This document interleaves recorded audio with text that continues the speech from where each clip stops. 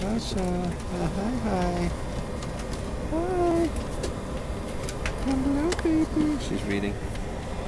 She's very focused on reading right now. Reading Daddy's t-shirt. Sasha, baby.